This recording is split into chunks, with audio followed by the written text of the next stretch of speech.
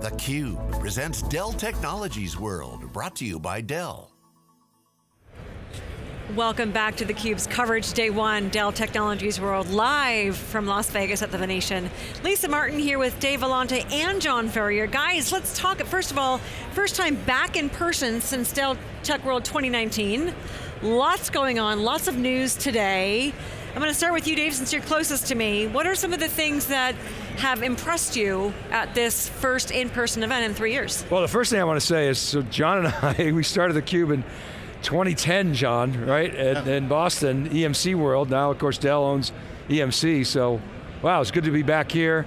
Dell's built this beautiful set. I, I tell you, the number one thing that surprised me was how many people were here. Airport was packed, cab lines, the line at the Palazzo, the hotel to get in was, you know, probably an hour long. Yeah. And there's, I thought there'd be maybe 5,000 people here. I would say it's closer to eight. Yeah. So the, the hall was packed today and everybody was pumped. Michael Dell was so happy to be up on stage. He talked, I don't know if you guys saw his keynote, I mean, he, he basically talked obviously how great it is to be back, but he, he talked about their mission building technologies that enable a, the better human condition. That was a big, you know, chewy words right? and, then, and then they got into you know all this all the cool stuff they're doing. So we can get into it. Uh, but they had CVS up on stage. They had USAA on stage. A big theme was trust, which of course if you're Dell, um, you know you want people to trust you. I guess the other thing is this is the first live event that they've had since the VMware spin. Right. So in 2019 they owned VMware. Yeah. VMware is no longer part of the income statement.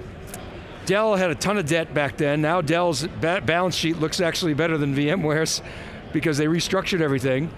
And so it's a world without VMware, where now with VMware, their gross margins were in the 30 plus percent range, now they're down to 20%. So we're now asking, what's next for Dell? And they stood up on stage, we can talk about it some more, but a lot of multi-cloud, a lot of cyber resilience, obviously big themes around Apex, you know, hybrid work, John, so well, let's get into that. What are some of the key things that you heard today? Well, first of all, the customers on stage are always great. Dell's technologies, 10 years for the Cube, and their history, I saw some back here, 25 years with celebrating precision. The history of Michael Dell's journey and the current Dell technologies with EMC folded in, and a little bit of VMware DNA still in there, even though they're separated out, just has a loyal set of customers. And um, you roam the hallways here, you see a lot of people know Dell, love Dell. Michael Dell himself was proud to talk before the event about he's number one, Dave, in PC market share that's been his goal to beat HP for years, and so he's got that done. But they're transforming their business because they have to. The data center is now cloud, cloud is now the distributed computing. Dell has all the piece parts, Dave. We covered this three years ago. Uh, now it's turned into multi-cloud, which is multi-vendor. As a service is how the consumers consume, innovate with data, that's kind of the raw material. Uh, future of work, and obviously the partners that they have. So I think Dell is going to continue to maintain the, the news of being the great in the front lines as a, as a data center slash enterprise, now cloud edge player. So you know, I'm impressed with their uh, constant reinvention of the company, and the news hits all the cards. Snowflake partnership, cutting edge company in the cloud, Partnership Snowflake, Apex, their product that's innovating at the edge, this new kind of product that's going to bring it together, unifying, all those themes, Dave, are all hitting the marks. Chuck Whitten up on stage, obviously was the, he was the multi-cloud you know, conversation. And I, I think the vision that they, they're laying out, and Jeff Clarke talked about it as well, is a, a, a, term that John and I coined, we can't remember who coined it, John or me, supercloud. yeah. And they're talking about building an abstraction layer, building on top of the clouds, connecting on-prem, to the clouds, across clouds, out to the edge, hiding the underlying complexity, Dell managing all that. That's their vision, it's aspirational today, but that really is super cloud. And it's more you than multi-cloud. You coined the term did super cloud. I, did I, we riffed together. I call it sub-cloud. Like oh, that's right. Subcloud. And, and I said, no, it's got to float over. Super. Superman flies. Right, that's right. Subcloud, not really a good name. well, we, wants to be sub I think anything. my kid gave it to me, John, actually. well, we do know that Michael Dell watches theCUBE. He's been on theCUBE many times. He watches theCUBE. Clearly, he's paying attention. Yeah, well, I hope so. I mean, we write a lot about this, and we talk to a lot of customers and talk to a lot of people. But uh, let's talk about the announcements if we can. So, the Apex Cyber Recovery Service, you know, ransomware recovery, they're now also running that on uh, AWS and Azure. So that's big. We heard Presidio, they were super thrilled about that. So there, the thing I'd say about that is, you know, Dell used to be really defensive about cloud. Now I think they're leaning in. They're saying, hey, we're not going to spend, you know, Ch Charles Fitzgerald, the snarky guy, does some good work on CapEx. I mean, you look at how much the cloud guys are spending on CapEx a year, 30, 40 billion. They can't compete. On, on cloud CapEx. Dell doesn't, doesn't want to compete. Can't compete. Build on top of that. So that's a gift, so that's cool. Um, you mentioned the Snowflake announcement. I thought that was big. What that is, it's very interesting. So Frank Slootman has always said, we're not doing a halfway house, we're in the cloud.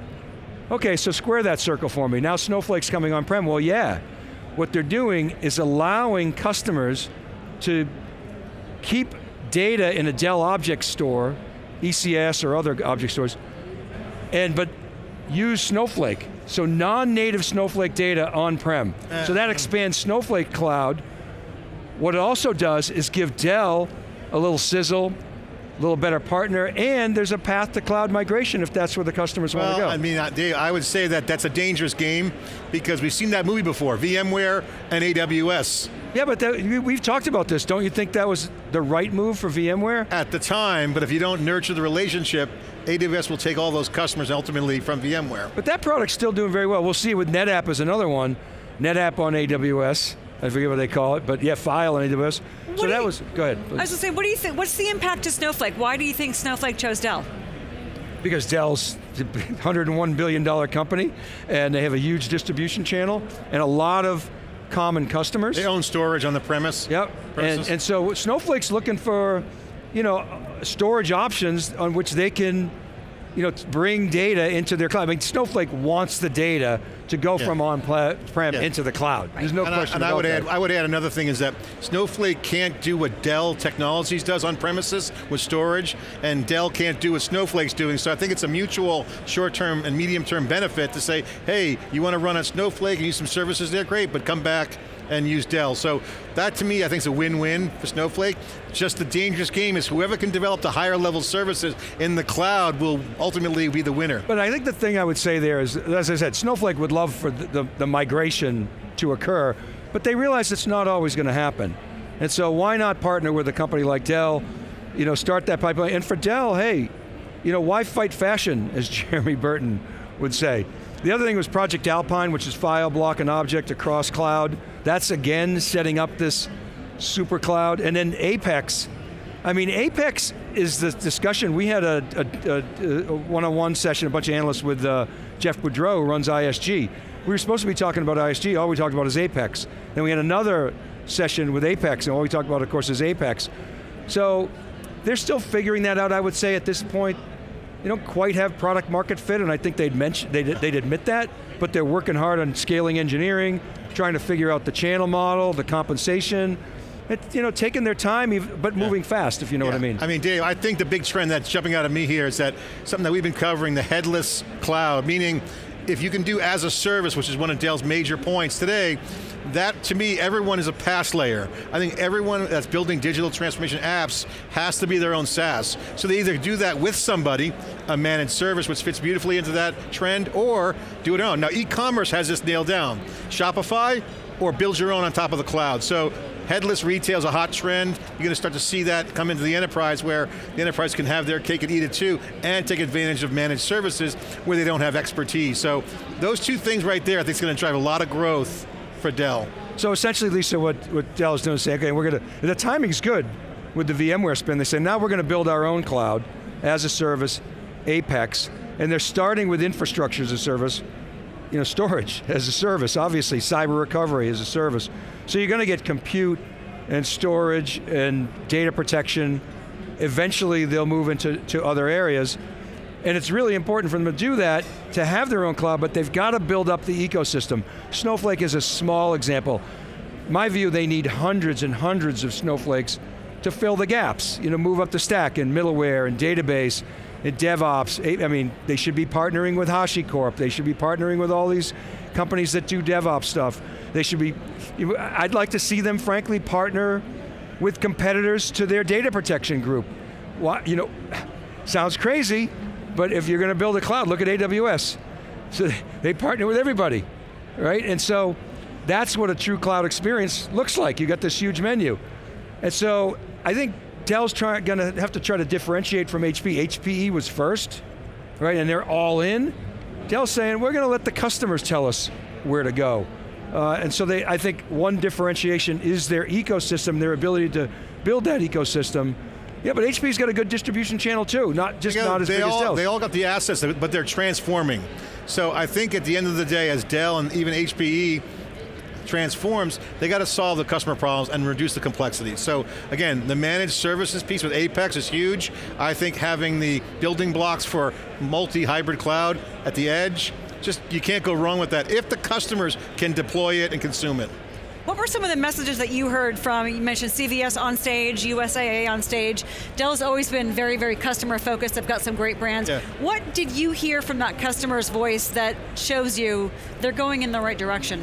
Well, first of all, customers are um, long-standing customers of Dell technology, so that's one recognition of the ongoing partnerships. But they're also messaged up with Dell's messaging, right? They're telling the Dell story. And what I heard from the Dell story was, moving fast and reducing complexity is their number one goal. They see the cloud option has to be there, cloud native.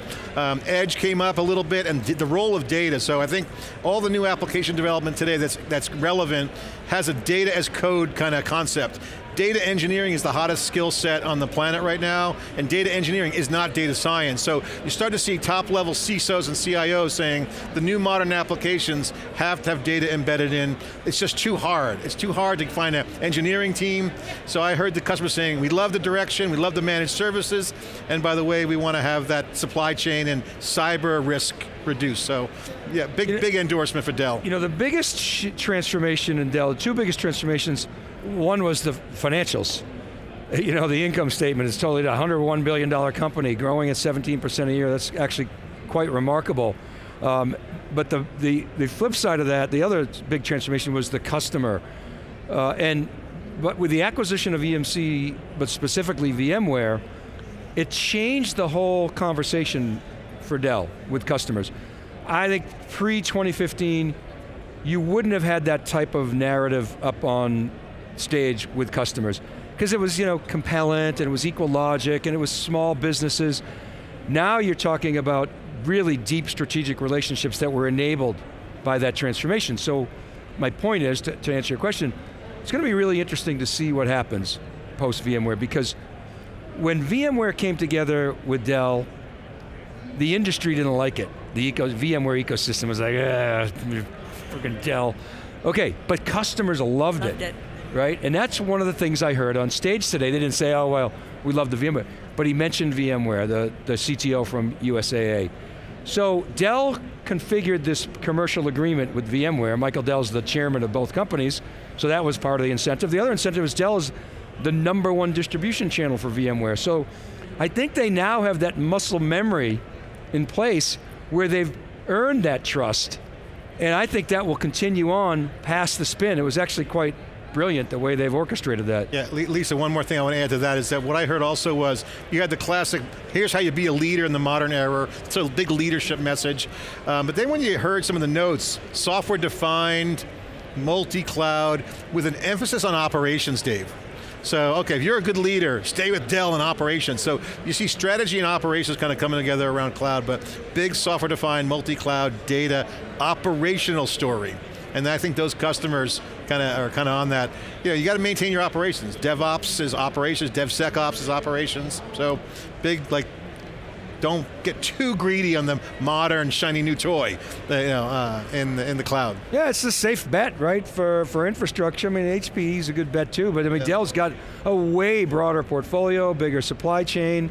It's got the end-to-end with the, the desktop, laptop, you know, the client-side business, you know, a, a bigger services organization. And now the big challenge in my mind for, for Dell is, okay, what's next? And I think they got to get into data Yeah. management, obviously build up as a service, build up their cloud. They need software in their portfolio. I mean, Yeah. you know, 20% gross margin company, it just, Wall Street's not as interested. You know, if they want to build more value, which they do, they've got to get more into software, and I think you're going to see that. I think you're going to see more M&A.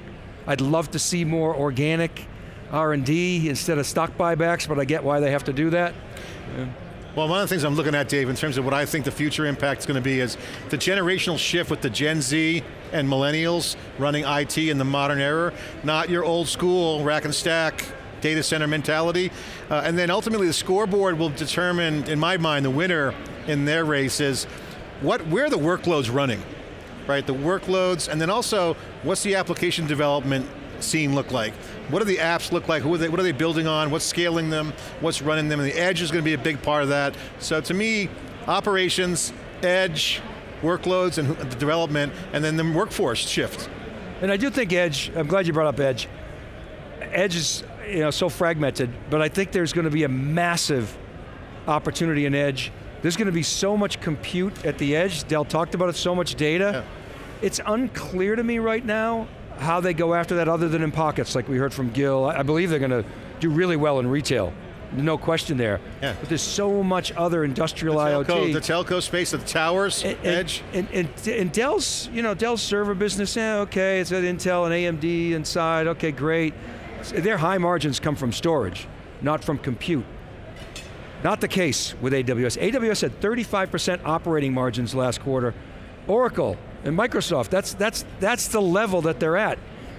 And I'd love to see Dell figure out a way to get paid more for their compute expertise. And that's going to take some R&D. Yeah. yeah. Last question, guys, as we wrap up our wrap of day one. Given everything that we've all been through the last couple of years, what is your overall summary of what Dell announced today, the vibe of the show? How well have they fared the last two years? Well, I mean, they've had a remarkable last two years, and a large part thanks to the, the client business. Uh, I think today you're seeing you know, them lift the, the veil on, on what's next. And I think their story is coherent. Um, there's, again, financially, they're much a much more sound company, much better balance sheet, uh, not the most attractive income statement from a, from a margin standpoint, and they got work to do there. But wow, as far as driving revenue, they know how to sell. Yeah, I mean, to me, I think looking back to before the pandemic, when we were here on stage last, we were talking end-to-end Dell leadership, and I say the biggest thing is Dell's catching up fast, faster than I thought, and I think they got a, um, they're skating to where the puck is going, Dave, and I'll tell you why. The end-to-end I thought wouldn't be a total flyer if the edge got too dynamic, but the fact that the edge is growing so fast, it's more complex, that's actually given Dell more time. So to me, what I see happening is Dell having that extra time to nail the edge, piece, because once they, if they get there, if they get there, then they'll have their core competency. And why do I say that? Because hardware is back. Server God boxes are going to be back. You're going to see servers at the edge. And look at the failure of Amazon's Outpost okay? Amazon's Outpost was essentially hardware. That's Dell's business. So you talk about like compute as, as a cloud, but they really didn't do well with deploying compute like Dell does with servers. EKS is kicking ass at the edge. So serverless with hardware, I think is going to be the killer solution at the edge. A combination of cloud and edge hardware, and the edge looks more like a data center than the cloud looks like the data center. So You're saying hardware matters? HardwareMatters.com. I think that's what I heard. HardwareMatters.com. Check out that site I, coming soon. I, think it, I, think it, matters more than ever. You know, supply chain, silicon advances. I, think the reason hardware matters is because it's it's it's barbelling. It's going from the box to the silicon yeah. and it's going you know, upstream into software defined. Horizontally scalability means good silicon at the edge, under, in, under the cover, scaling all the stuff, and then uh, machine learning and AI in the application. So we've said this on theCUBE now, what, five years now? Uh, yep. Guys, we get an action pack tonight, tonight, two days tomorrow and Wednesday. Michael Dell is on tomorrow. Chuck Whitten is on. Jeff Clarke, et cetera, et cetera. Caitlin Gordon is on Wednesday. All the heavy hitters are coming on. They're coming on. They're going to be Allison Dew's coming Allison on. Dew's We're going to talk about on. the Matthew McConaughey uh, interview, which was, I thought, fantastic. Uh, uh, JJ uh, Davis is coming on. Uh, so we're going to have a, a, great channel discussion as well. Uh, with Cheryl Cook. That's right. A lot of the product people are coming on. We're going to be talking Apex. It's going to be good with cyber recovery. That's the Storage Alchemist is coming on, John. okay, boy, I can't wait to see that one. well, stick around, guys, for our coverage all day tomorrow, Tuesday and Wednesday. Lisa Martin with Dave Vellante and John Furrier coming to you live from the Venetian in Las Vegas. This is Dell Technologies World 2022. We look forward to seeing you tomorrow and the next day.